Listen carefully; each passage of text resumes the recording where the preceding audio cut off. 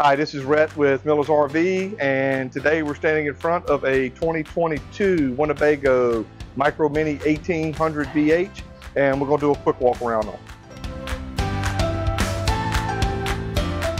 And don't forget to subscribe to our YouTube channel, hit that notification bell, and also remember to submit your questions, and we'll get you in on our frequently asked questions segment. Now let, us get started on the outside. All right, here we are on the outside of the 2022 uh, Micro Minnie 1800 BH, and I wanted to show you one of the unique features on the outside of this coach.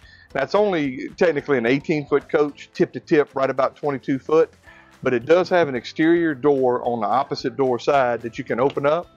And on the bunk beds on the inside, you can actually lift up the bottom bunk and it will store in the up position and clip out of your way.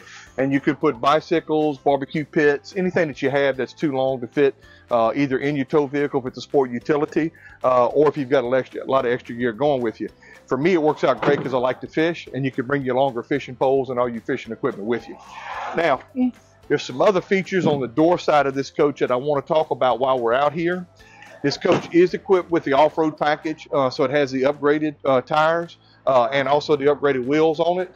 Has electric awning on it, and it also has electric stabilizer jacks front and rear. So when you get to the campground and go to set this coach up, it's just really not a lot of sweat work that you have to do. Everything on this coach is going to be pretty much push button. Now let's step inside.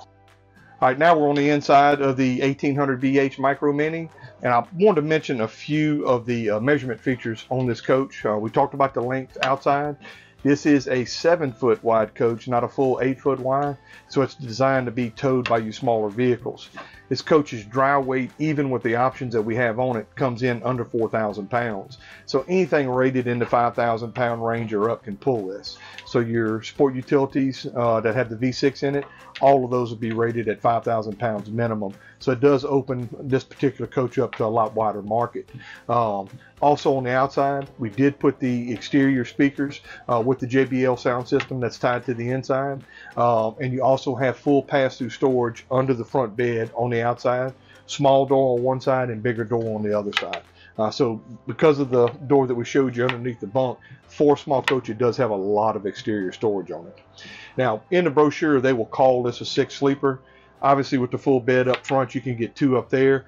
The dinette uh, with the size in this coach uh, being only a seven foot wide, I would tell you one adult or two small children here.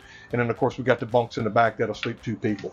Uh, now, this coach does have the upgraded uh, air conditioner with the downdraft grill. Uh, and we do always go to the 15,000 instead of the 13.5 air conditioner. Need it down here in this part of the country just because of the heat that we have year round. Now, all of your micro minnies also come standard with gas electric water heater. And that way, when you go to the campground, you can burn electricity that you're paying for instead of burning your LP. Uh, save you a little trip in the middle of the night running out on those two bottles up on the front. Now again, we did equip this coach with a flat screen TV that's mounted just over the kitchen sink. You can watch it from the dinette area or from the bunk area, or it will swing and you can watch it from the main bed area. Um, rear bath on this coach does give you a, a nice bath across the back. It does have a couple of wardrobe closets back there that you can use either as towel storage or you could use as wardrobe storage. Now, all you micro minnies are also made with true plywood floors. There's no particle board in the build of this unit, so it's a unit construction-wise that's going to last you for a long time. It's a great beginner's coach because it doesn't have a slide on it. So there's just not a lot of maintenance that you have to do to this coach. Uh, the less moving parts you have, the easier it is to take care of. It does have wireless charging built in uh, into the kitchen cabinetry, uh, which is a feature we started seeing a couple years ago, and it's made its way even into the ultralights. Uh, but again, if you have a small family, small tow vehicle, and you don't want to go out and invest fifty, sixty thousand dollars that it costs to get a half-ton truck, this is a nice option to get you started into the camping field. So go onto our website, millersrv.com, or come on down here and see either Cam or David and take a look at this coach. It's got a lot of feature for the dollar. This is a coach that will actually sell for less than $30,000. Um, so come by and see us, and always remember, enjoy the journey. Hey there, thanks for watching this video. So we want to remind you again to like this video, subscribe to our channel, and turn on your post notifications so we can keep you updated with the best that the RV industry has to offer. If you want to stick around and watch some more videos, we've got a link for two videos here.